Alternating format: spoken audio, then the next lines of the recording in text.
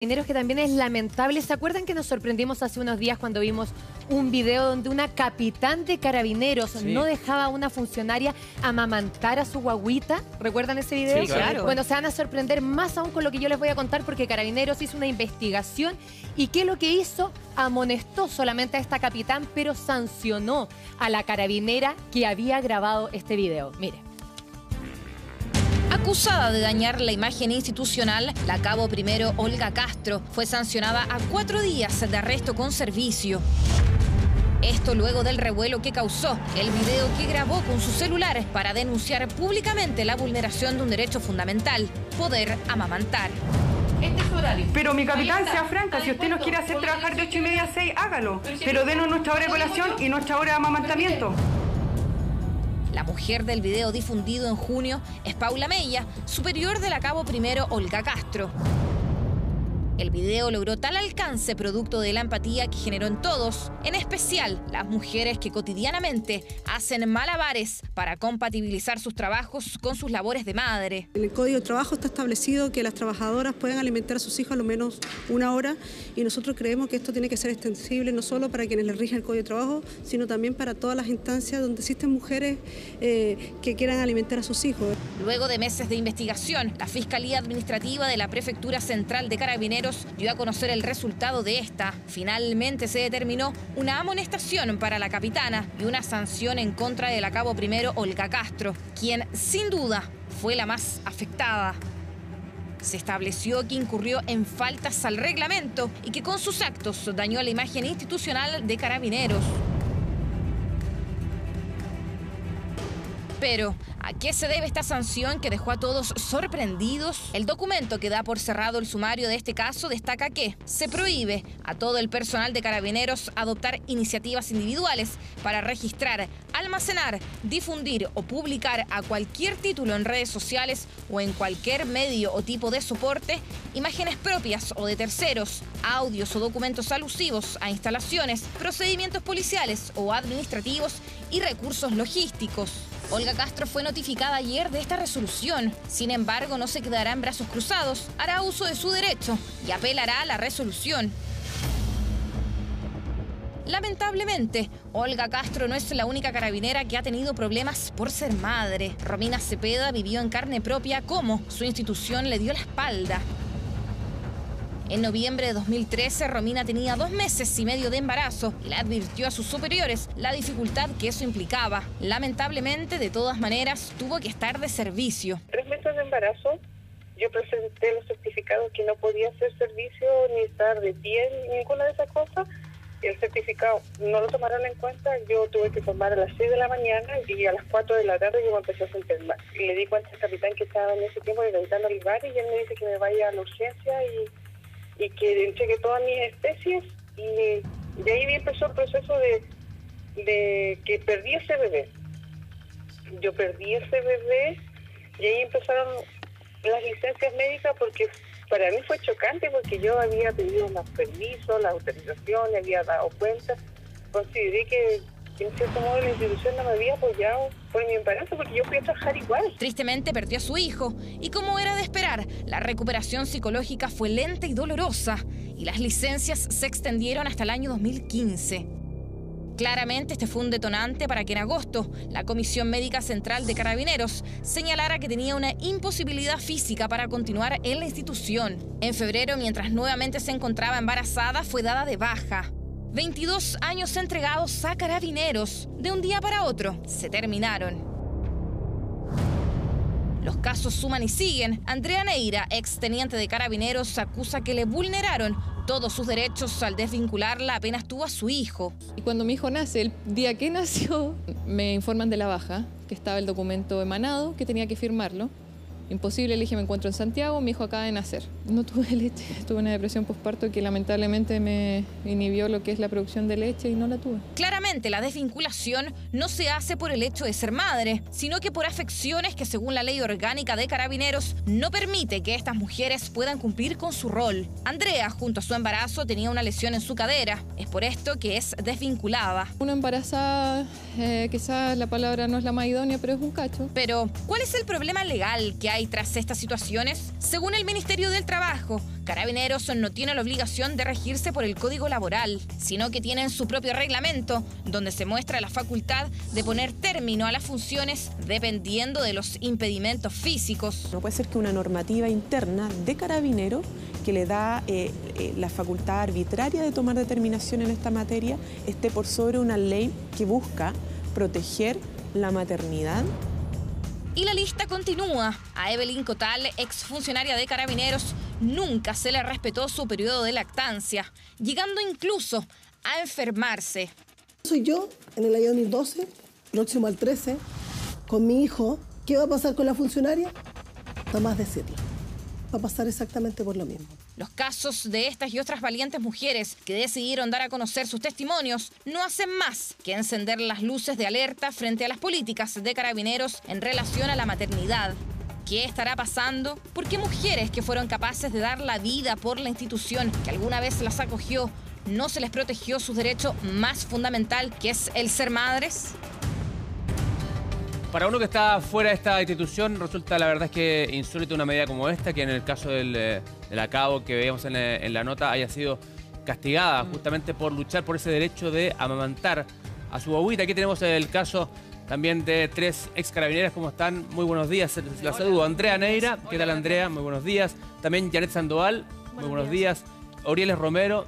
Buenos días. Y don Claudio Valdivia. ¿Qué tal? ¿Cómo está, abogado? Buenos días. Eh, Muchachos, ya, vamos a estar hablando del caso particular de cada una de ustedes, pero ¿cómo se puede explicar una sanción como esta? Andrea, te lo pregunto. Mm, sí, hola.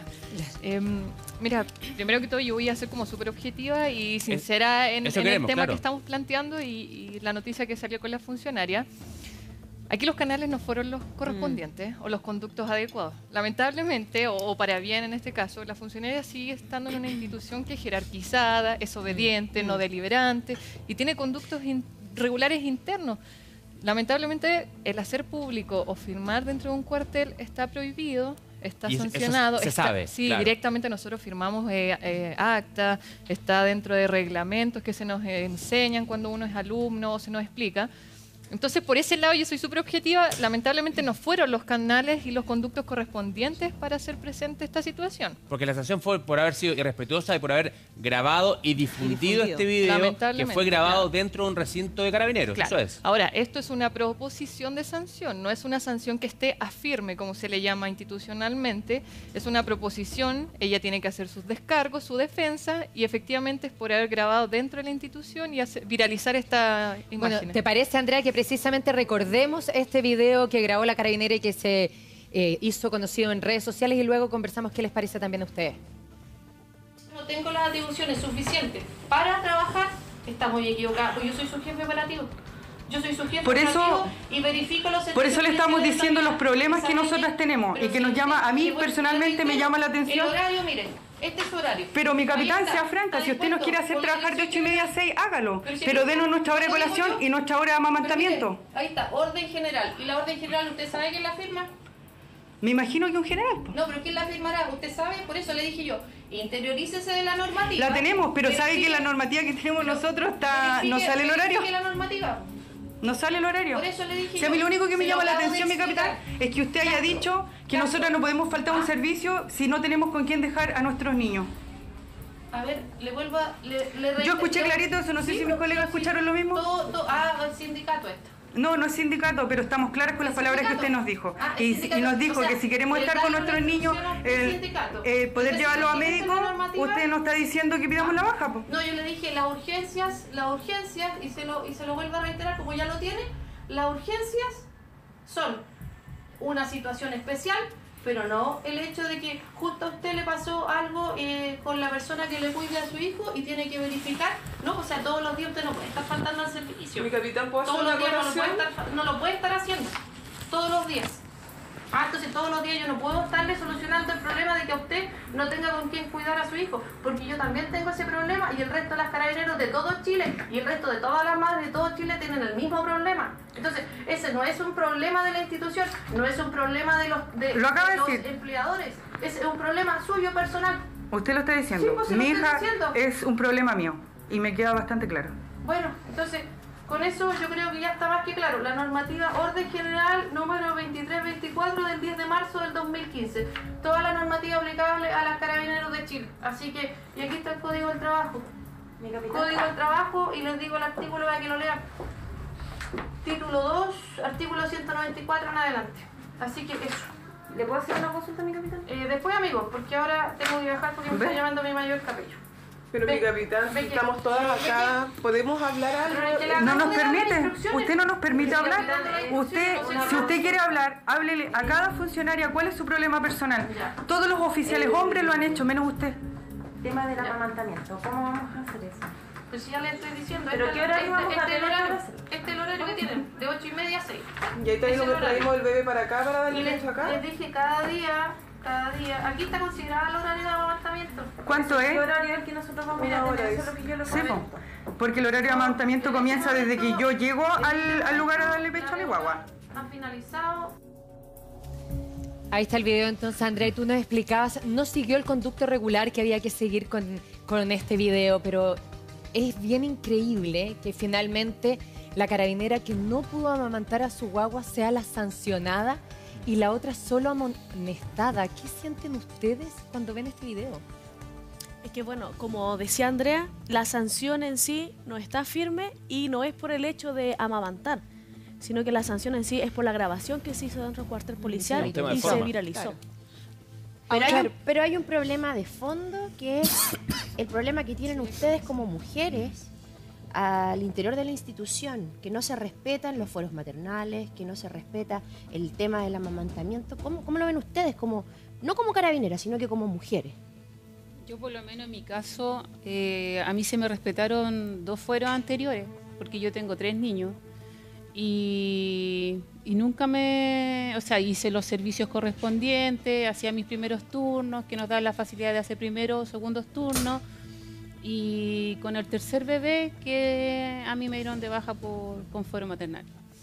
Ahora, disculpa, lo que sí puedo plantear, eh, que efectivamente, o en mi caso personal, en la unidad si bien se respetaba lo que son el foro maternal, a mí me llama, cuando vi el video, de hecho en las noticias también viralizado, me llamó mucho la atención que en esa unidad no se respetara lo que era el, el fuero. O sea, a nosotras si bien se nos dio de baja estando embarazada, todo, pero los horarios en mi unidad por lo menos funcionaban. Las funcionarias trabajaban hasta las 3 de la tarde, se les consideraba su hora de amamantamiento y horario de colación, y se podían retirar a las 3. Entonces, no entiendo en qué, en qué momento cambió. Ahora, lamentablemente hay mucho desconocimiento interno y no hay instrucciones claras sobre el hecho del foro maternal. Andrea, pero tú fuiste dada de baja el día que tuviste tu guagua. Sí, eso ¿Es yo así? lo hice presente. A mí se me propuso el retiro temporal el mismo día que nace mi hijo. O sea, yo estando en el hospital recibo el llamado de que, a diferencia como era oficial, se firma un decreto.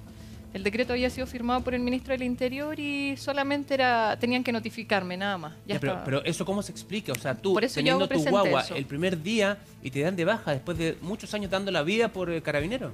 En ese sentido, yo por eso digo, lamentablemente dentro no se están respetando ciertos derechos de las mujeres, pero también hay conductos y situaciones que se pueden hacer presentes. O sea, si yo hice público y las mismas funciones que están acá, es por un hecho que nosotros agotamos todas las instancias, todas las instancias administrativas y lo que corresponde, porque si pertenecíamos a una institución que era jerarquizada, debíamos agotar las instancias. Pero ¿cuáles son los derechos que no se están respetando eh, de la mujer en la institución? Porque tú decías, yo no tuve problemas con mis, eh, O con sea, mis dos primeras claro. guaguas, pero sí con la última porque empezó a cambiar.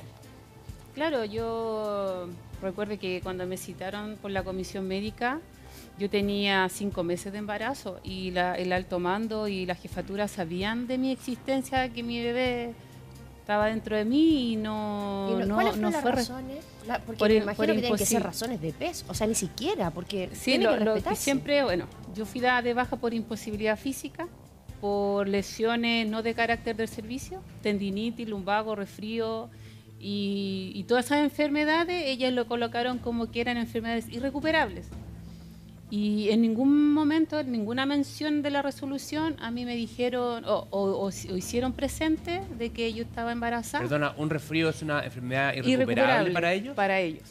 Por yo informe. tengo mi resolución, se las puedo mostrar y, y yo... Yo te veo sana, por, perdona. Yo Te estoy bien. sana, hago deportes, soy sana, El resfrío se fue. el resfrío se fue. Y Claro, yo tenía 16 semanas de embarazo cuando me notificaron de mi baja. Cuando un capitán me dice, venga a firmar su, su baja porque llegó este documento. Después, como me vio embarazada, me dice, no, me dijo, no firmes la baja porque tú estás embarazada y el fuero maternal te protege.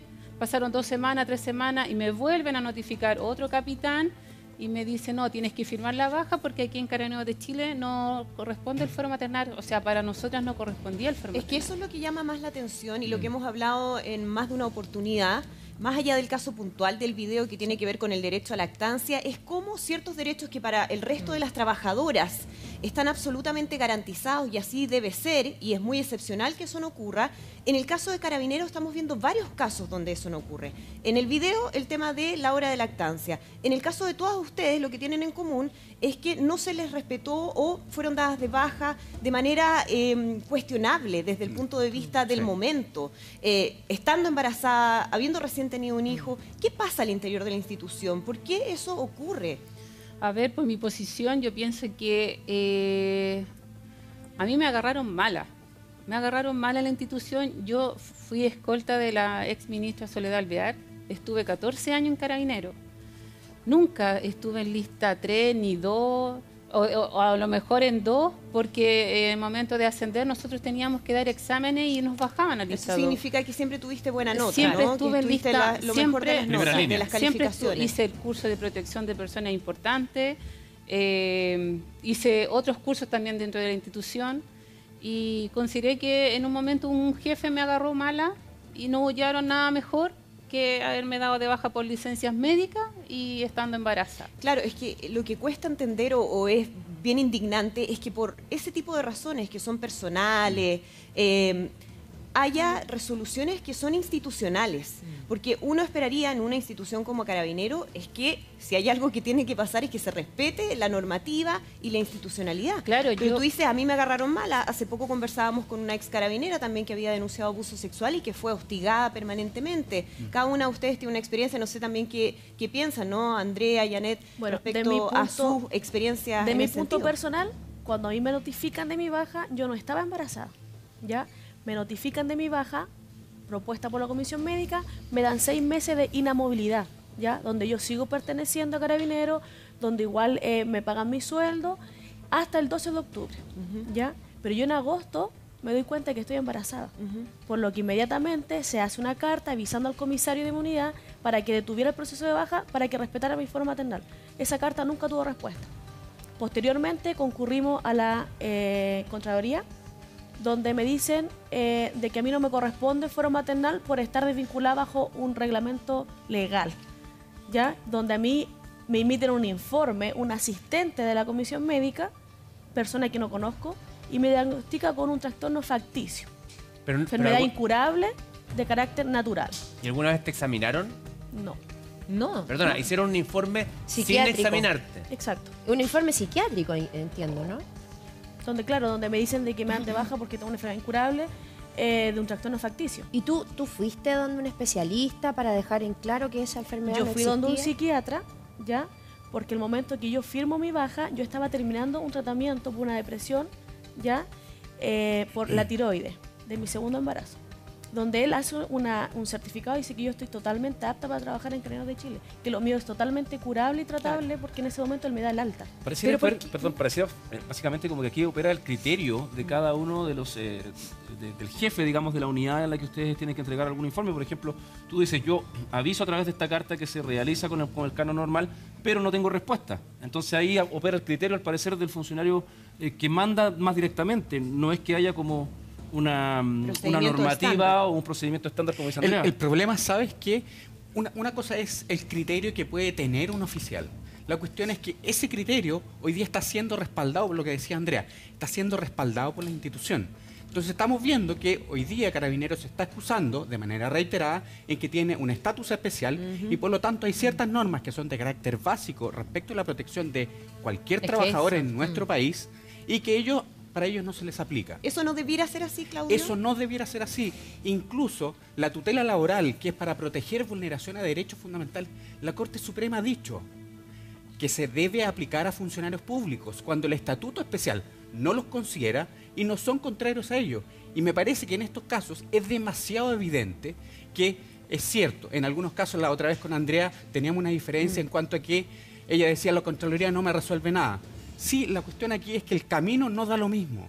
Como yo hago las cosas no da lo mismo. El plazo para interponer las denuncias tampoco da lo mismo. Pero ¿por qué no se respetan los derechos de la mamá? ¿Por qué vemos que se repiten tantos casos como los de ella hoy día? Hoy día estamos, es que hay un criterio institucional, eso está siendo respaldado, me parece, por la Dirección General, y eso debiera ser hoy día objeto de revisión de la Contraloría y debiera ser objeto de revisión por parte de los tribunales, incluso juzgados del trabajo. Yo creo que falta que un carabinero se atreva, es cierto, hay conductos regulares, pero aquí hay ciertos derechos que deben ser protegidos y debieran ser discutidos hoy día en un tribunal laboral. Perdón, pero en Andrea. el caso, por ejemplo, porque acá se les podría multar a la institución, pero ¿quién, eh, ¿quién ayuda por las consecuencias que ellas tuvieron? Andrea hablaba de que posterior a eso tuvo una depresión, se le cortó la leche, no pudo amamantar a su hijo. ¿Qué- quién, ¿Quién paga esos daños que, que son irreparables? Lo primero es que a propósito de una tutela laboral, ellas pueden pedir la reintegración, la reincorporación a las filas institucionales. Pero los plazos son muy cortos. Pero- 60, 90 días si ¿Y es el que es trato por ocasión del después? despido. Pero también, disculpe, tienen que hacer presente una cosa. El señor abogado manifiesta de que los conductos y los canales quizás no son los adecuados lo que nosotras quisiéramos llevar, que hay una funcionaria que lleva hasta la Corte Suprema, la Mm, funcionaria. Eh, siempre nosotras cuando tratamos de llegar o de hacer valer nuestros derechos, tratamos de siempre acotar lo que es la parte administrativa. ¿Por qué? Porque por algo nosotros estamos en la institución, o sea, yo estuve Claro. cuatro años en Carabineros y es porque me gustaba. Y hasta el día de hoy yo puedo decir que me gusta la institución y puedo, me emociona igual cuando veo funcionarias con el uniforme que yo también vestía. Entonces, no es una situación de, de llegar e irse en contra al tiro y vamos, hagamos trámites. Uno siempre está con la ilusión de volver a reintegrarse, de volver a estar en la fila y no perder los años de servicio y llegar a la jubilación que nos bueno que uno espera siempre a los 20 años. Por eso uno trata de hacer las cosas pausadas, con calma. Y a veces, lamentablemente, lo que dice él, hay plazos que se cumplen, si bien así es. Pero- Yo en este caso estuve de alta. A mí la comisión médica me dio el alta, la misma comisión médica nos desvincula, la comisión médica se pronuncia y me da el alta en octubre de, de ese mismo año, el 2015. Eh, pero así todo, yo solicité en reiteradas oportunidades la reincorporación, en mi grado como teniente en este caso, también fue rechazada. Entonces, a veces uno tiende a decir, ¿llegarán realmente la solicitud al general director? Porque él debe firmar un montón de documentos diarios que no es que lo, lo disculpe ni nada, pero tiende a pasar. Entonces uno dice, ¿llegarán realmente a él las solicitudes, mi solicitud o mi caso personal? Qué frustrante, ¿eh? qué frustrante. Y me llama la atención también que les digan que la maternidad es su problema, como una falta de conciencia social y empatía bien No, increíble, un como una problema, institución además. que ustedes dicen querer tanto. Lo que pasa es que, mire, a mí me pasó que yo teniendo dos niñas y aparte de mi bebé recién nacido, yo ya estaba dada de baja. O sea, mi, mi bebé alcanzó a nacer en el hospital de Carabinero, pero yo ya el otro día no existía en Carabinero. Eso ¿Y significa cómo que lucho pierdes todos yo? los beneficios, ¿no? Claro, ¿cómo lucho yo con dos niñas más? Exacto. Y con un bebé en brazos. O sea, yo, yo sola, en realidad, sola, porque vivo sola con mis tres niños, pero fue doloroso, triste. Yo, escucha, vendí ropa en la calle, traba- trabajo en el campo de diciembre a marzo para yo poder ayudar a mis niños para el colegio. Y, y siempre he amado la institución y si me pidieran volver, yo vuelvo. Yo vuelvo a ojos cerrados. Porque he luchado siete años y siete años me he callado de este, este dolor que llevo. O sea, a mí me preguntan, oye, ¿por qué te fuiste? ¿Por qué te echaron? Y uno de repente no haya que responder porque digo, no, ¿sabes qué? Me dieron de baja por licencia mía, pero ¿cómo embarazada? Y uno se ve en todos los casos. Yo sufrí mucho, sufrí mucho y guardé silencio mucho tiempo. O sea, a mí yo no quise hacerlo público porque mil veces me dijeron no lo hagáis público porque si tú querías ganar el caso, eh, déjalo ahí. Pero yo llegué a la Corte Suprema y la Corte de Apelaciones a mí me daba el favor para que me, can- me cancelaran el fuero eh, maternal. No así el reintegro, porque el reintegro ya había pasado mucho tiempo, porque siempre los límites. Pero ¿qué pasa? Yo me, me hice asesorar de abogados de la Corporación de Asistencia Judicial y esos abogados a mí no me ayudaron en nada. O sea, siete años perdidos. El año pasado, recién en octubre, yo recibí eh, el llamado de la Corte, o sea, de mi, de mi- el abogado postulante, del- que de la Corte Suprema habíamos perdido el caso y le habían dado el favor al fisco, porque el fisco se había dado cuenta que nosotros no pedíamos el fuero maternal, siendo que en mi carpeta, en, mi dena- en la denuncia, siempre estuvo presente el fuero. La demanda estuvo mal planteada. ¿Y las cosas empeoraron cuando ustedes hicieron públicos sus casos? Yo es primera vez que salgo en televisión, primera vez que hago mi caso público. Y ustedes dirían, y, perdón, y ustedes dirían que eh, en Carabineros lo que están viviendo ustedes es una práctica habitual, porque acá tenemos tres casos. Veamos el caso del, eh, del acabo del video de Olga Castro. Eh, ¿Ustedes dirían que es una práctica habitual en Carabineros? ¿Se da mucho más de lo que se sabe? Yo de mi caso lo sabía solo mío, porque yo llevo siete años. Ahora me vengo a enterar de los más casos que hay presentes. ¿Y ustedes, Janet, Andreas, saben de otro caso también que se hayan dado? En lo personal no, pero yo creo que si hay más casos, muchos a lo mejor tienen miedo de hablar Mm. porque a lo mejor tienen a su esposo que es Ah, funcionario. que pasa entonces- mucho, Exacto, sí. entonces por miedo uno no habla muchas veces. Yo en mi caso, como eh, decía ella, eh, no tan solo a uno la dejan sin nada, sino que uno tiene familia. Yo igual tengo tres niños. Al momento de ser dada de baja me quitan mi previsión. Yo mi embarazo tuve solamente dos controles. Además, me bloquean del sistema de salud, donde no puede mi esposo tenerme de carga y una semana antes de tener a mi bebé, recién él puede tenerme como carga. O sea, un embarazo angustiante. O sea, quedan absolutamente sin ningún tipo de protección Exacto, médicos. exacto. Claro, Entonces quedo que bloqueada yo en el sistema de salud, quedan mis dos niños, entonces uno queda angustiante y pensando todos los días, ¿cómo lo voy a hacer? Y como dice Andrea, yo también ahora para poder subsistir vendo cosas, porque uno queda totalmente de manos cruzadas. Uno le gusta carabinero. Para eso uno está ahí y uno Mm. sale y uno dice, ¿qué voy a hacer ahora? Si uno no sabe hacer otra cosa.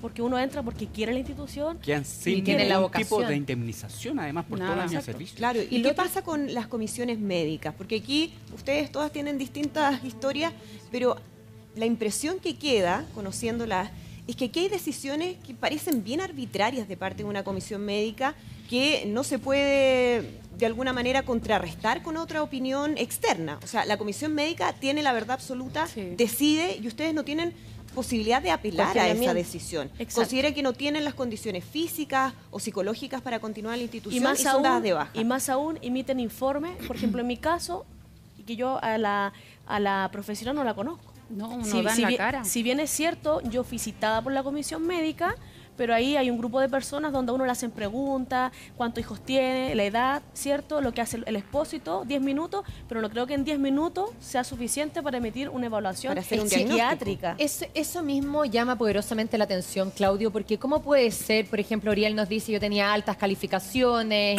incluso trabajaba con una ministra, ¿cómo puede ser que un superior te tenga mala y te den de baja si es fácil es? Es que se replica el patrón. No Mm. solamente estamos hablando de arbitrariedades, sino estamos hablando de medidas que son despro- desproporcionadas. Un resfrío que es incurable, Que, no, que- que no está sujeto a ningún tipo de fiscalización. Entonces me, me parece que una institución tan jerarquizada como es Carabinero, ellos debieran dar el ejemplo respecto de ajustarse a la ley y debieran ap- aplicar estatutos que van en protección de sus mismos trabajadores. ¿Cuántos miles de trabajadores hoy día tiene Carabineros? Y que debieran tener un estatuto que los proteja frente a este tipo de situaciones, porque algunas dolencias o, o falencias médicas que pueden tener son como consecuencia del servicio que ellos prestan. Exacto. Entonces se presenta la paradoja de, sí, efectivamente, yo entrego, puedo entregar mi vida, pero cuando me enfermo, la comisión médica da el ultimátum para que me echen. Y que el diagnóstico sea real. O sea, de- de- y, que, y que no sea falseado, porque, o sea, que, que te digan, te estoy eh, sacando la institución por tal cosa, pero no pueden andar falseando un informe eh, sin ni siquiera un diagnóstico previo de un especialista, de un doctor. O sea, estamos llegando a un nivel de mentira enorme. Cristian, el punto aquí es la fiscalización. ¿Quién fiscaliza a estas comisiones médicas? Exacto. La, ¿La comisión, Contrale- Claudio? la- la Contraloría General de la República. ¿Va a emitir algún tipo de informe sobre la fiscalización? Los tribunales de justicia van a pronunciarse a propósito de una demanda sobre la arbitrariedad de estas comisiones Las médicas? comisiones médicas están compuestas por médicos que pasan a ser parte de las filas de la institución, ¿no es verdad? Son, son Sí. funcionarios. Perfecto. Entonces, De eso, sanidad, eso funcionarios es una sanidad, cosa sí. puntual que hay que destacar también para que la gente entienda de por qué la, la poca Son arbitrariedad. funcionarios digamos. que tienen Claro. superiores Sí. y al final eh, son decisiones que no se pueden eh, cuestionar. O sea, es cosa de verlo en un tema que no tiene nada que ver con ustedes, pero lo que ha pasado con la polémica por las pensiones de inutilidad de Mm. segunda clase, donde también hay decisiones de una comisión médica que nadie entiende que nadie puede eh, cuestionar y donde vemos gente que está recibiendo pensiones millonarias por diagnósticos que la verdad son bien extraños, por decirlo menos. Claro, y que no tiene fiscalización externa, que la eso también no se entiende. Dice ser un organismo autónomo eh, Solamente ellos proponen, como es a la vez autónomo, se les respeta, entre comillas, las decisiones, pero también estamos claros de que las decisiones son a discrecionalidad también del mando Exacto. directo, que el general director. O sea, Ahora, Claudio, ¿qué, qué podrían hacer ellas? Porque Oriel les hablaba de plazos que la institución eh, tiene que, después de siete años ella no puede volver a la institución. Pero ¿qué pueden hacer ellas para, para apelar a estas situaciones que son de verdad, yo las encuentro ridículas? Las Es un buen punto. Lamentablemente el camino que se opte eh, no da lo mismo. Lamentablemente en el caso de Orieles eh, ya no hay mucho que hacer en la justicia chilena. Podría interponer una, algún tipo de denuncia o demanda ante la Corte Interamericana para que el Estado le dé algún tipo de reparación, pero estamos hablando de años, donde hoy día no existe una solución concreta para ella. Eh, el problema de los conductos regulares es a propósito de lo que veíamos hoy día sobre la sanción. Efectivamente, a ella se le va a aplicar una sanción por emitir una opinión por una red pública, por es una, una red social. proposición. Es una Todavía proposición, no pero está firme lo que es la Es que hay que separar las cosas porque también, yo les comentaba al periodista, también nosotros tenemos una situación súper puntual que nos está afectando ahora, que es el foro maternal, desvinculación con esto en general. Pero también hay que eh, especificar y comentarles y hacer a las personas presentes de que los días de arresto, si bien no son arresto efectivo, que va a estar detenida la persona. ¿Cómo no va a ser? así. Porque O sea, había son preocupación días- en el caso de la a cabo del video.